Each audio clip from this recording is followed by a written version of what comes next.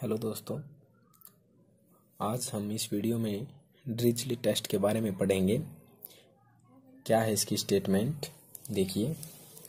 If we n x monotonic function है भाई N का ऑफ़ एन और each fixed value of x close interval में है, और जो वी एन एक्स है ना, वो यूनिफॉर्मली कन्वर्ज कर रहा है ज़ीरो की तरफ़, और for close interval a b में ही।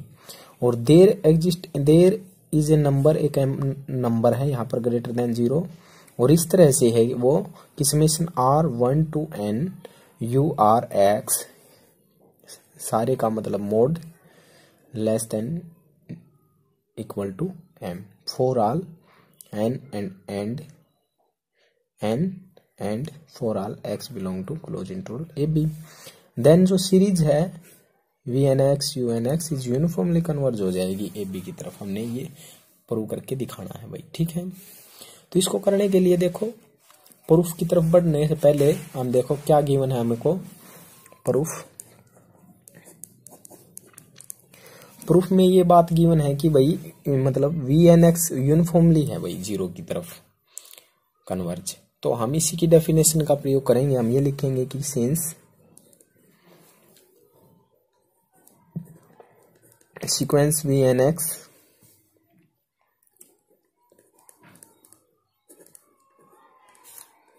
converges uniformly.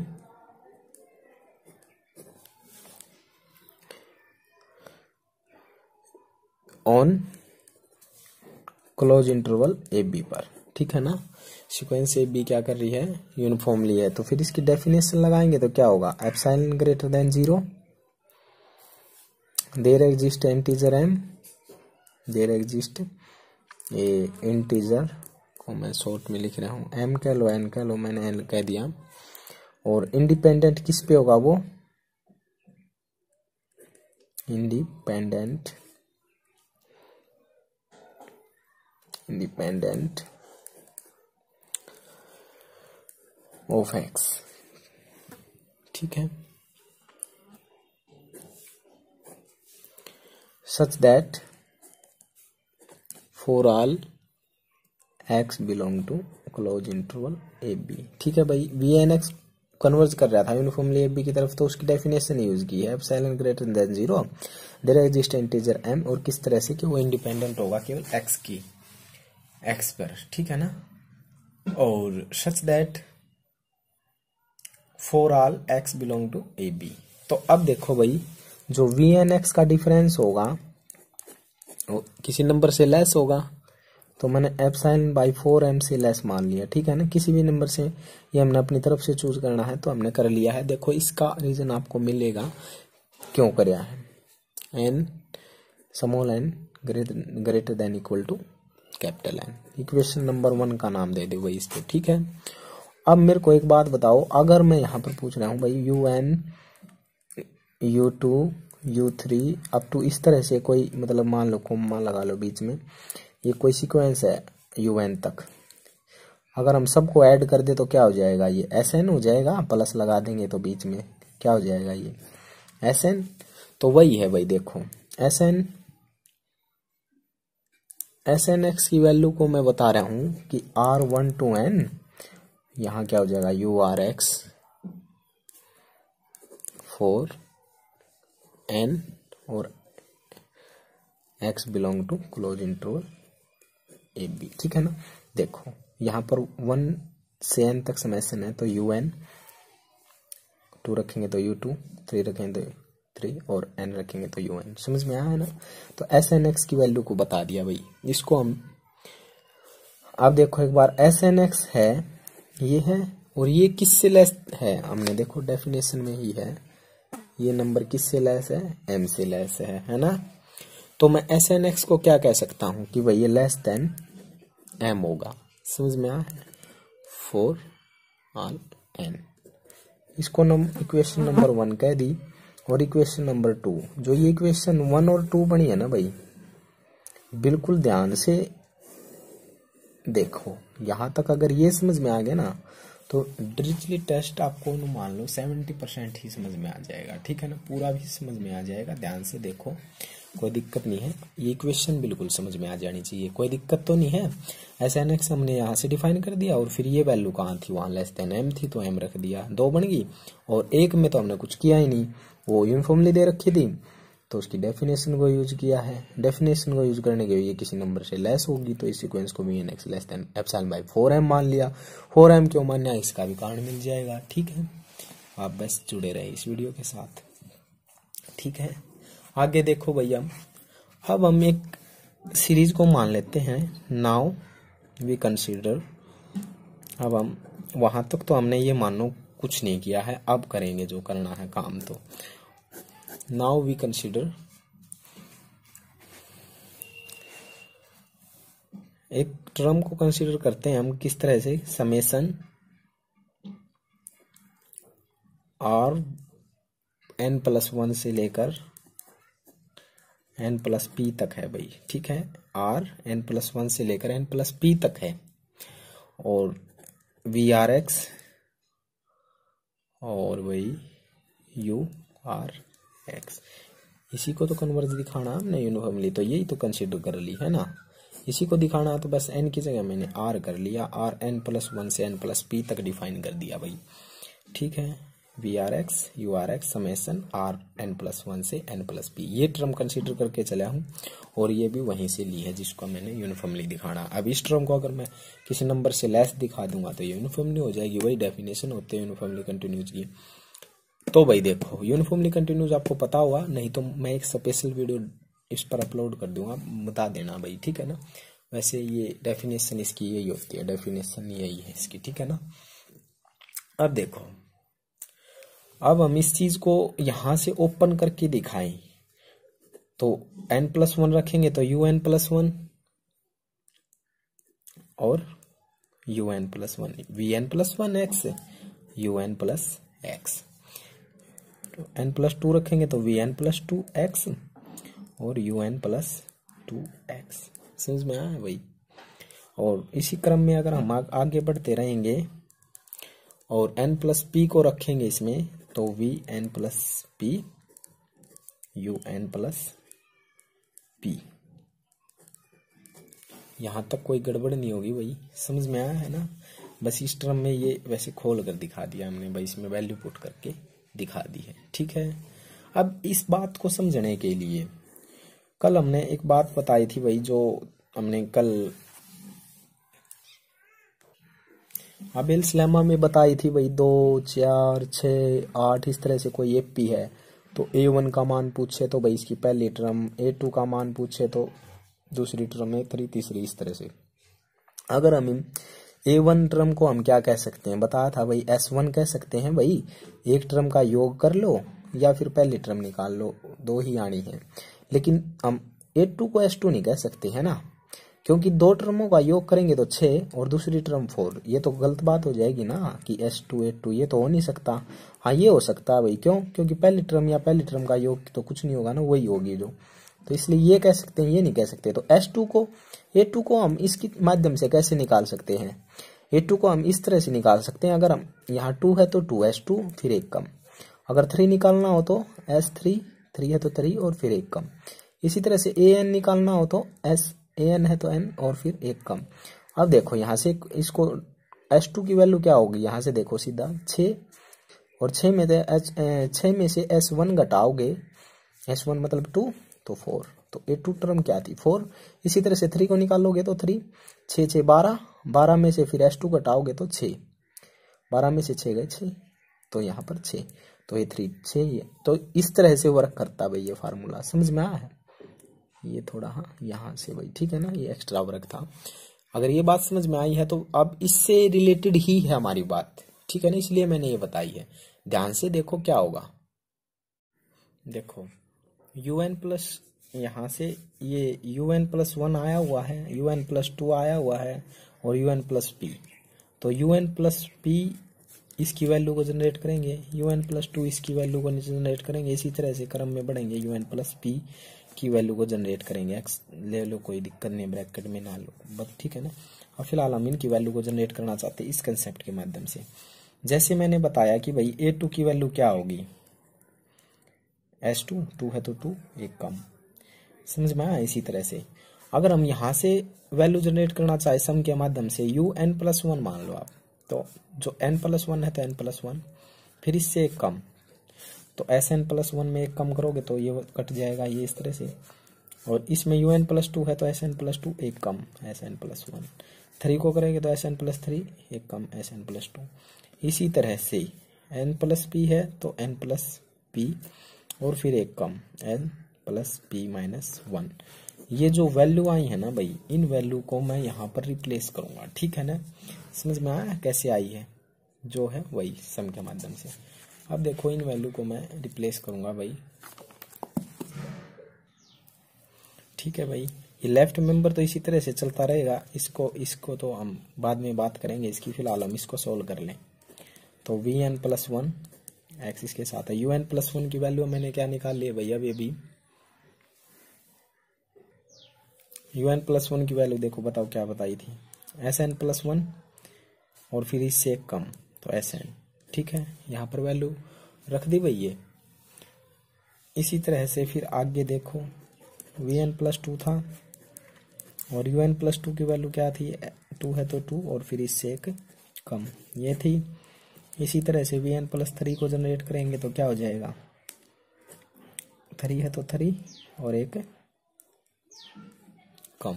यहाँ तक समझ में आया भाई? यहाँ तक अगर समझ में आया है तो देखो। इसी क्रम में हम आगे बढ़ेंगे तो और लास्ट की टर्म को जनरेट करेंगे तो V N plus P X S N plus P था यू एन प्लस पी था तो इसकी वैल्यू और इससे एक कम। ठीक है भाई? यहाँ तक हमने वैल्यू जनरेट कर दी है। देखो, यहाँ तक हमने कुछ नहीं करा। यू एन प्लस वन की वैल्यू ये जो वैल्यू हमने बताई थी, उनको बस रिप्लेस किया है। ठीक है ना? यू एन प्लस वन की U N plus two U N plus three up to N plus U N plus P की। अब इस टाइम में भी मैं ज़्यादा कुछ नहीं करने वाला, बस अंदर मल्टीप्लाई करेंगे। देखो क्या होगा। V N plus one X S N plus one इसके साथ करेंगे तो V N plus one X तो ले लो भाई ब्रैकेट में ये एस एन अब इसके साथ करेंगे अगली टर्म है जो V N plus two S N plus two और इसके साथ करेंगे तो V N plus two X और ये हो जाएगा हाँ हाँ ये वी एन प्लस टू इसके साथ हो गया तो ये फिर मल्टीप्लाई में ये हो जाएगा एस एन माइनस वन ठीक है ना भाई? अब अगली टर्म को करूँ। V N plus three X S N plus three और अगली को करेंगे तो V N plus three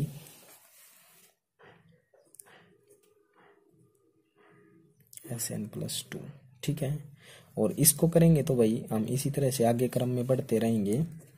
तो इसकी करो मल्टीप्लाई एन प्लस पी ये तो टर्म वैसे मैंने कर लिया, आप टू तक ओपन कर सकते हो, कोई दिक्कत नहीं है। एक्स एन प्लस पी और वही इसके साथ करेंगे तो V N plus P X और यहाँ तक आए ना हम, इसकी फिर मल्टीप्लाई होनी है भाई S N plus P minus one के साथ। ठीक है?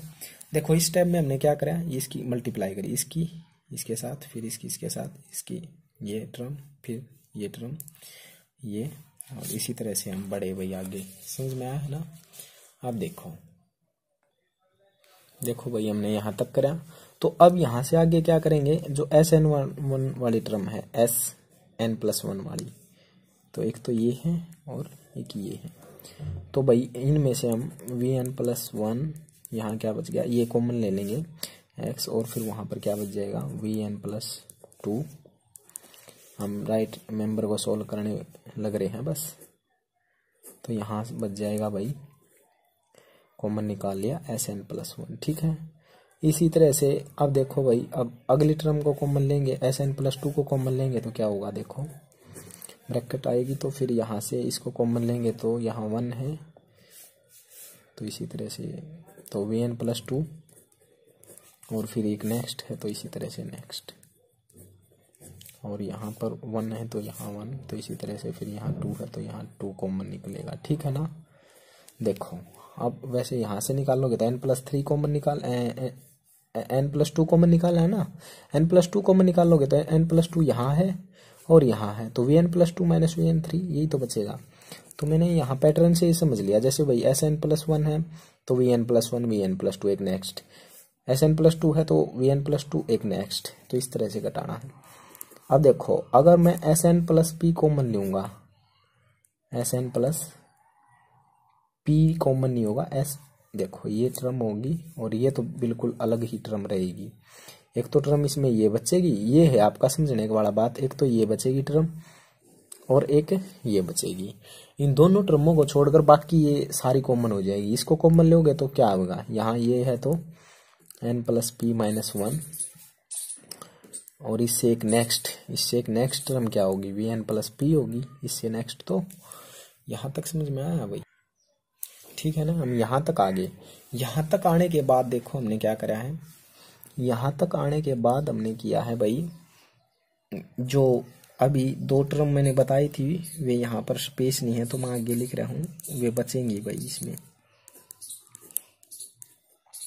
ये टर्म और ये किसी के साथ कॉमन नहीं आएगी। आप पूरी टर्म को देखोगे ना खोल कर जैसे मैंने अबेल सलेमा में भी अगर आप इस बात को समझ गए थे ना तो यहाँ पर आपको कोई दिक्कत नहीं होने वाली ठीक है ना? तो ये दो टर्म बचेंगी भाई और बाकी ये इस तरह से कॉमन आ जाएँगी। तो कॉमन आने के बाद देखो मैं इस, इस पूरी टर्म को समेशन में बाँध दूँगा। मैंने देखा कि एन प्लस वन से लेकर N plus P minus one तक है वैल्यू तो मैं आर की वैल्यू को डिफाइन कर दूँगा कि भाई एन प्लस वन से स्टार्ट है वैल्यू और N plus P minus one तक है। ठीक है ना? यहाँ तक बाँध दूँगा भाई, यहाँ से लेकर यहाँ तक बाकी टर्म बच जाएँगी। और ये देखा मैंने कि आर प्लस वन है, और यहाँ पर जो एन प्लस वन है तो वी आर एक्स हो जाएगा क्योंकि एन प्लस वन और फिर देखा कि भाई एक नेक्स्ट है तो वी आर में एक नेक्स्ट है तो V R plus one X ठीक है ना? और अब देखो इस तरह का काम है। और फिर मैंने ये भी देखा कि भाई ब्रैकेट है। यहाँ पर देखो ब्रैकेट है ये। और फिर बार एस एन प्लस वन मतलब आर ठीक है? एस आर एक्स कह लो या एक्स लगाओ या कोई दिक्कत नहीं, ठीक है ना? देखो भाई, मैंने इस टर्म को बाँध दिया यहाँ पर एन प्लस वन अब इसको ओपन करो। एन प्लस वन रखोगे तो वी एन प्लस वन इससे next V N plus V N plus one plus one V N plus two S N plus two अगर एस एन प्लस टू आप ये पूरी जनरेट हो जाएगी, इससे अब देखो एन प्लस वन रखेंगे। अब एन प्लस टू रखेंगे तो एन प्लस टू और फिर इससे एक नेक्स्ट हो जाएगी, और फिर यहाँ पर एन प्लस टू इसी तरह से पूरी जनरेट हो जाएगी।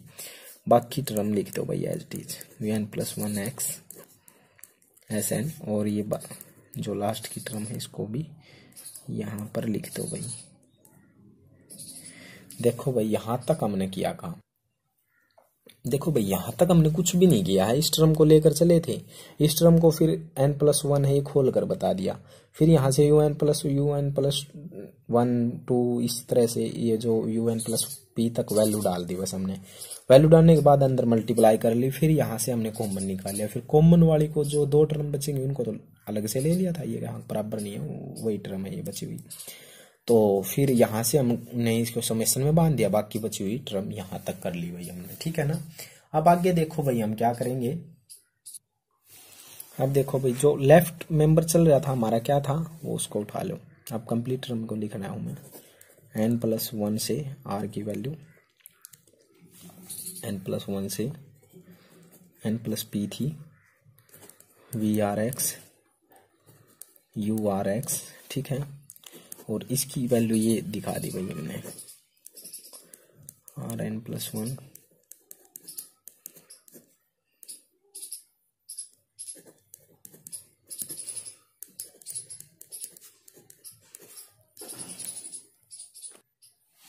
जो लेफ़्ट लेफ़्ट मेंबर था उसको लिख दिया और ये सारी वैल्यू बता दी भाई, ठीक है ना? तो अब इस टाइम में मैं कुछ नहीं करूँगा, यहाँ पर मॉडल अप्लाई करेंगे, ठीक है ना? मॉडलस बार अप्लाई करूँगा तो एज इज़ रहेगा। लेकिन मैं इस मॉडलस को अंदर ले जाऊँगा तो मॉडलस की प्रॉपर्टी लगेगी। देखो कैसे अंदर, जैसे कि इस ट्रम पर तो अलग मॉडलस अप्लाई हो जाएगा भाई। ठीक है? और इस पर अलग, इस पर अलग, इस पर अलग। और इन पर भी इंडिविजुअल कर दो आप। ठीक है? तो मॉडलस को अप्लाई कर दिया भाई मैंने। इस तरह से मॉडुलस को अप्लाई क्यों किया है, आप देखो, इनकी वैल्यू पुट करेंगे हम। इनकी वैल्यू पुट करने के लिए देखो देखो, यहाँ तक ले लिया था ना तो फिर ये मॉडुलस ही लगाया, बस अलग अलग अब मॉडुलस लगाएँगे तो ये माइनस का क्या हो जाएगा? देखो, यहाँ पर मॉडुलस लगाएँगे तो प्लस हो जाएगा, अब तो माइनस का तो खेल ही नहीं रहना। अब देखो, यहाँ से आगे हमने काम करना होगा। लेफ़्ट मेंबर को फिर हम इसी तरह रखेंगे भाई, इसको सोल्व करने की कोशिश करेंगे। तो आर की वैल्यू एन प्लस वन से लेकर N plus P minus one तक है। ठीक है, अब जो ये टर्म है, इसको लिख लो। V R X V R plus one X models में है। लिख ली भाई मैंने। अब देखो, ये एस आर एक्स है और वी एन प्लस एक्स है। ये है जो, ये वैल्यू इनकी जगह में देखो, इसकी जगह तो मैं एफ़ एप्साइलन बाई फोर रखूँगा।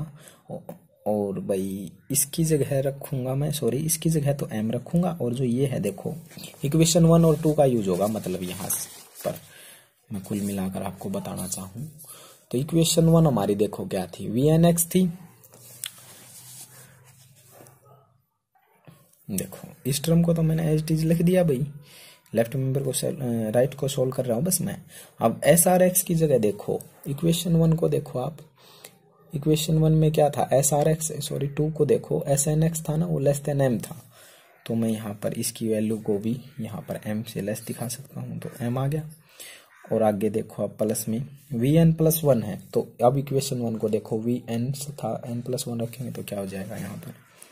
इसको एप्सन बाई फोर और ये एस एन एक्स मतलब एम बस कुछ नहीं करता।